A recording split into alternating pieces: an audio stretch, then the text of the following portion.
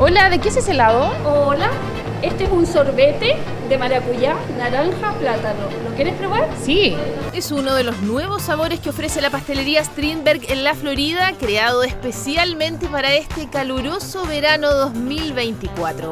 Sí, en verano se duplica el, el consumo. Aparte que son ricos. Mi hijo es fanático y toda época del año, invierno, verano, Siempre. siempre. ¿De verdad? Aquí, en verano, porque hace mucho, mucho calor. Ese es chocolate suizo. Este es la avellana. Tiene más de 50 helados distintos a los tradicionales y más pedidos. Vainilla, chocolate, suman más y nuevos sabores, como los de pasta de higo o los sin azúcar. Hay varias variedades.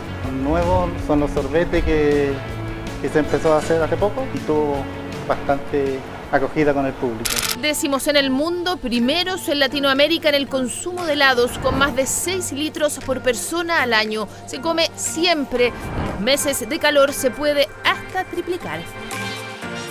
¿Siente que produce algo cuando usted tiene mucho calor? Sí, O- sí, sí, más allá del sabor uno se refresca también. Yo creo que es por gusto, es porque le gustan los helados y da lo mismo si hace calor o no. consumir alimentos fríos y así de frío como lo son los helados no necesariamente va a llevar a que nuestra temperatura corporal baje.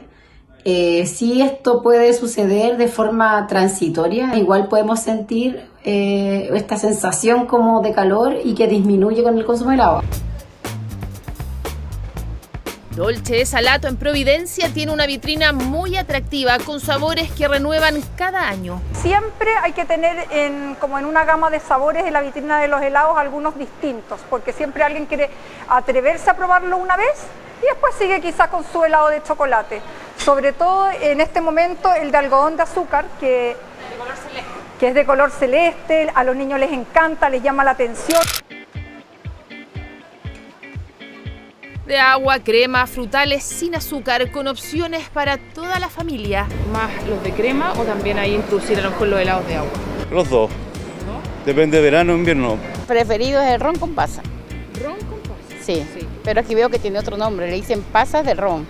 Pasas al ron. Al ron. Exactamente. Los helados de agua, como en su mayoría contienen solamente azúcares, se pueden digerir un poco más fácil. Eh, sin embargo, ninguno de los dos puede llevar a bajar la temperatura de forma importante. Consumo de helado que en Chile aumenta año a año y que en verano nos sorprende con nuevos colores y sabores que encantan.